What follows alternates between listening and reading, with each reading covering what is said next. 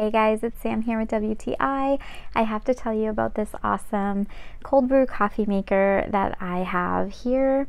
Um, so I was spending so much money on buying my cold brew coffee, um, even in the jug at the store, and I was like, I can make this myself.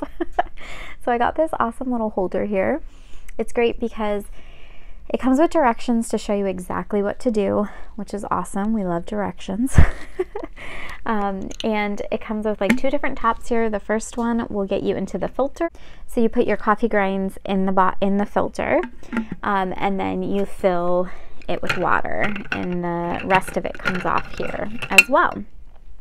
So it's really nice because it's glass. Um, it has like a lot of different features features, which is nice because this part's glass, but this part's silicone, so you're not gonna like break it, which I would do. Um, and then this part's plastic, so it's easy to clean. Um, this also spins around so that it's open and closed. So definitely recommend this. I think it's awesome and it's gonna save you some money. It's saved me some money, I know that. And that is my point of view.